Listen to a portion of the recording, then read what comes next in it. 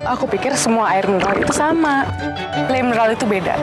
Le mineral memang berbeda. Setiap tetesnya mengandung mineral esensial seimbang yang penting untuk tubuh dan juga membuat rasa airnya lebih segar. Segernya.